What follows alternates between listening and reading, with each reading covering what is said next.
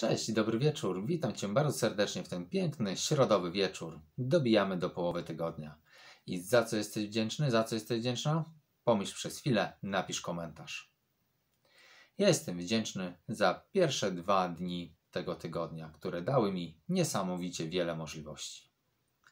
I przygotowałem cytat, który mam nadzieję zachęci Was do tego, abyście pomyśleli o nim przez chwilę i wprowadzili może jakąś drobną część z tego, co mówię, w swoje życie. Jedyny sposób, żeby mieć przyjaciela, to być przyjacielem. Dokładnie, bardzo często w naszych relacjach, przyjaźniach więcej chcemy brać niż chcemy dawać. Jeżeli odwrócisz ten proces, będziesz przyjacielem, będziesz dawał więcej niż oczekiwał, będziesz miał wielu przyjaciół. Nie pseudo przyjaciół, a prawdziwych przyjaciół. Czego Wam bardzo serdecznie i sobie również życzę. Wspaniałego, cudownego wieczoru i do zobaczenia już jutro. Z Bogiem, cześć.